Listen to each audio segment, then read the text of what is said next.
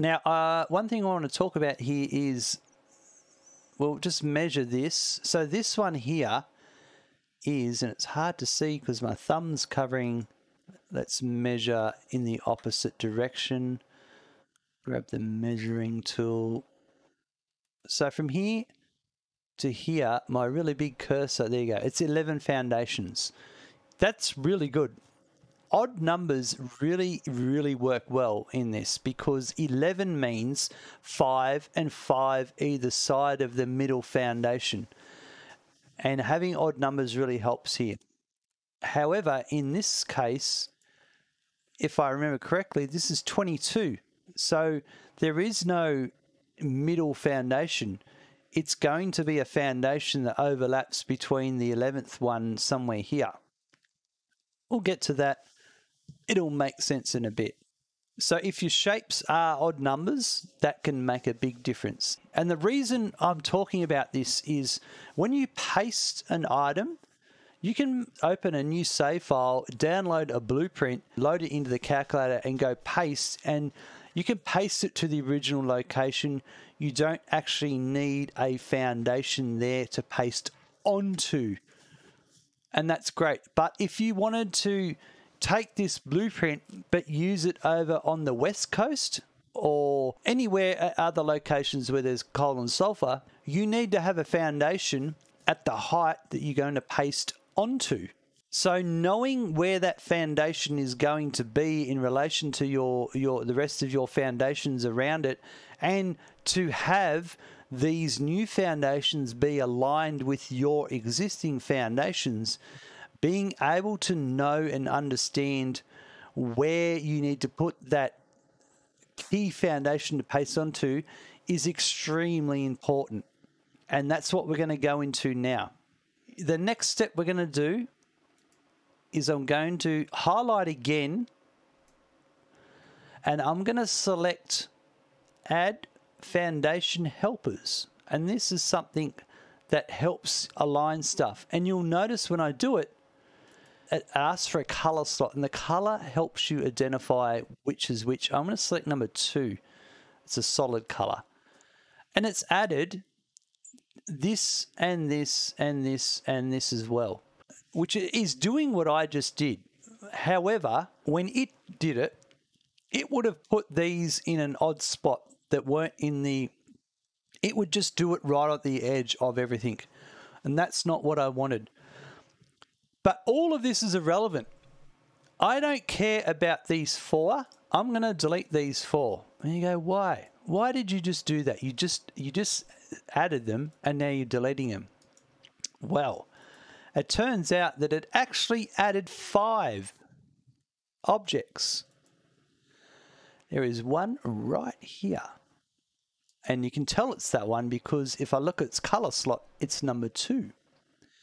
Now, this one here is at a foundation height of minus 21 meters. Also, this one's at a foundation height of minus 18 meters what I want to do is I want to have that foundation here, down here. That's what I'm going to paste onto. If I selected all of this now and went copy,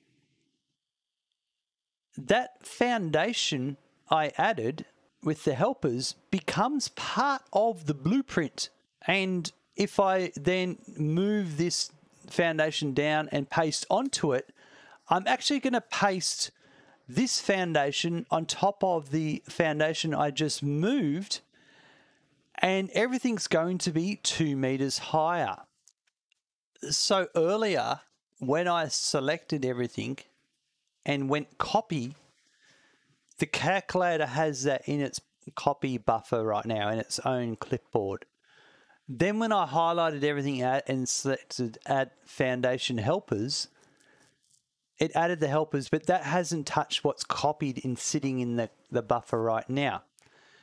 I want to put this foundation here down here to the spot there where I want to copy the next one to. Okay? And you can see it is, it will be exactly half on each foundation there.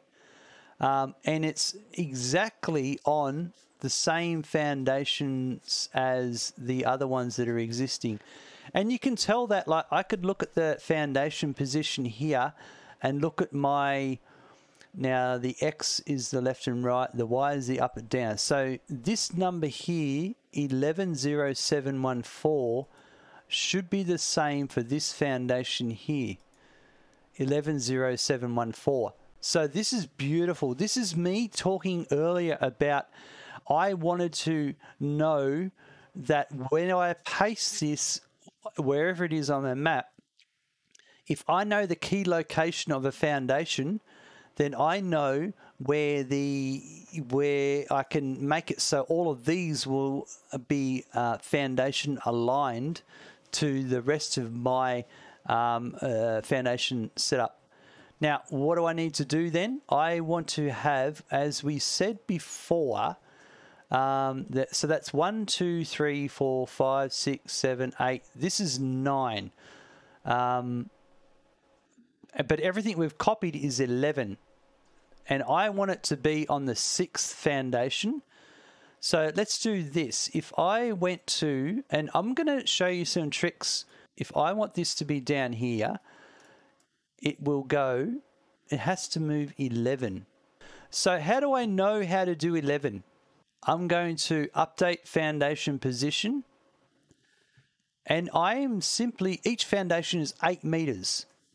Now it says here, negative offset will move X to the west, Y to the north, and Z down. I want to go south.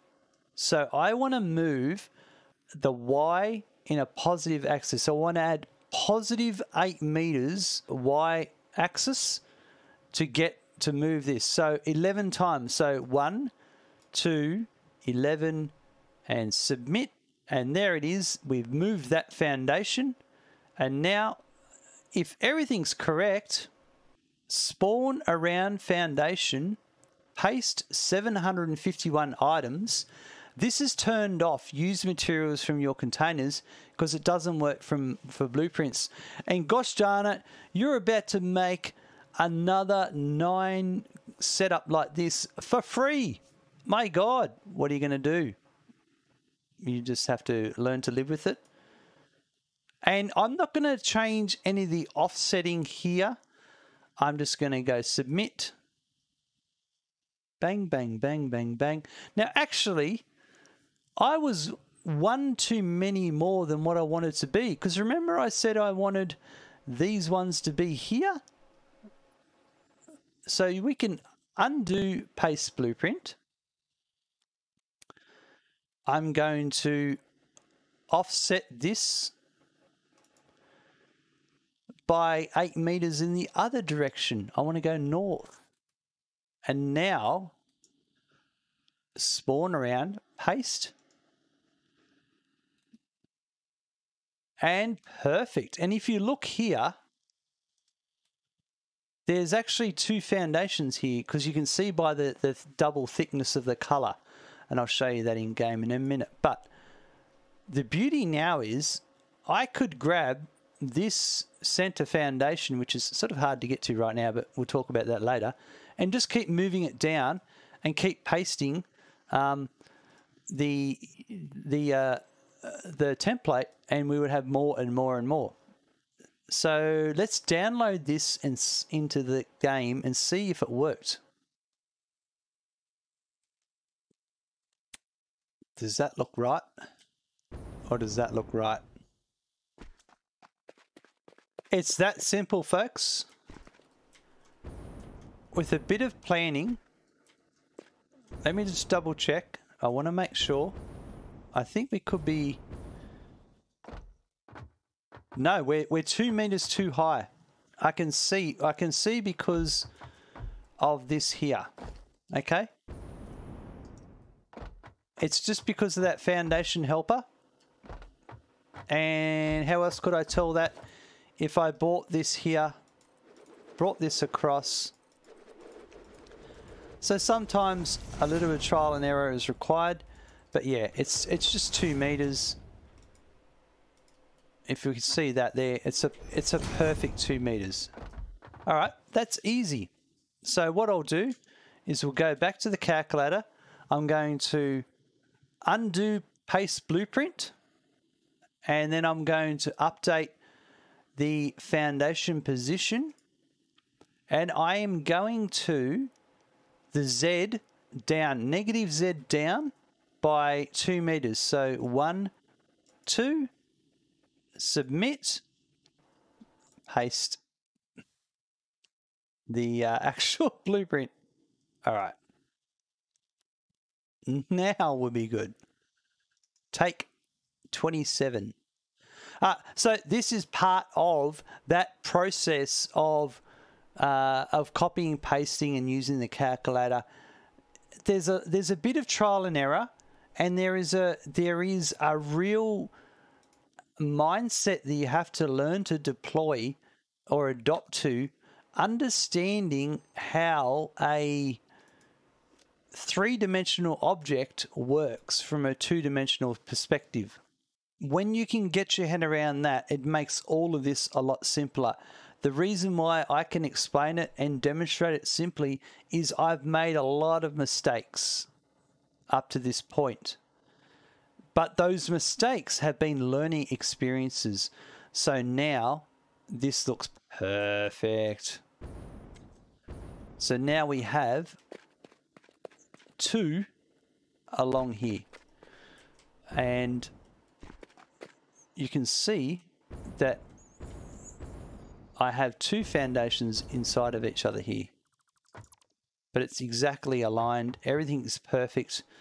Uh, and I can re keep repeating this process along for as many as I need.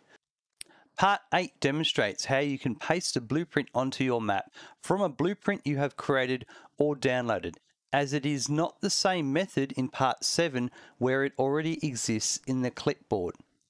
Part 9 demonstrates how you can paste a blueprint into the original location. This is different as you are not pasting onto an existing foundation.